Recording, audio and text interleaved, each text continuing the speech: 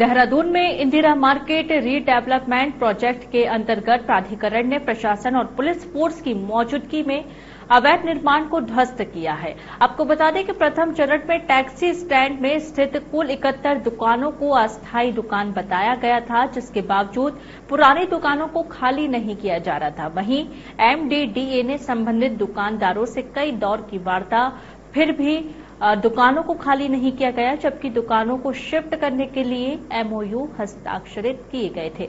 आपको बता दें कि मामले में दुकानदारों का ये कहना है कि पहले उन्हें बसाया गया, अब उनकी दुकानों को उजाड़ा जा रहा है। ऐसे में दुकानदारों की मांग ये है कि इस परियोजना को कुछ वक्त के लिए स्थगित कर दिया जाए। वहीं इंदिरा मार्केट रीडेवलपमेंट प्रोजेक्ट के अंतर्गत कुल 600 दुकानों और 1000 से अधिक गाड़ियों के लिए पार्किंग और अन्य आवश्यक सुविधाएँ जैसे लिफ्ट पार्किंग, ग्रीन स्पेस आदि का निर्माण पीपीपी मोड के अंतर्गत किया जाना है।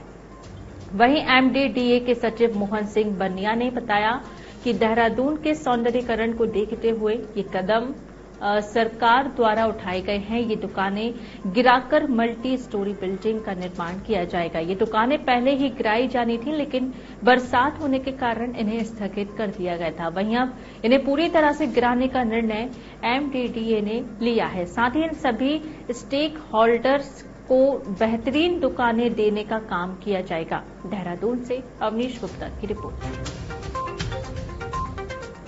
स्थगित नहीं होगा। ये काम के स्थगित होने के लिए हम लोग यहाँ नहीं आए हैं।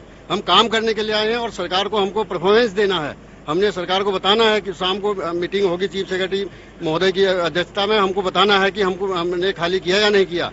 और इसमें जो स्टेक होल्डर्स हैं, उनकी बात हमने तीन बार सुनी, हमने मुनादी कर दी, सब कुछ कर दिया। पिछली बार बरसात होने की वजह से हम लोगों ने जल्दीबाजी में नहीं किया था।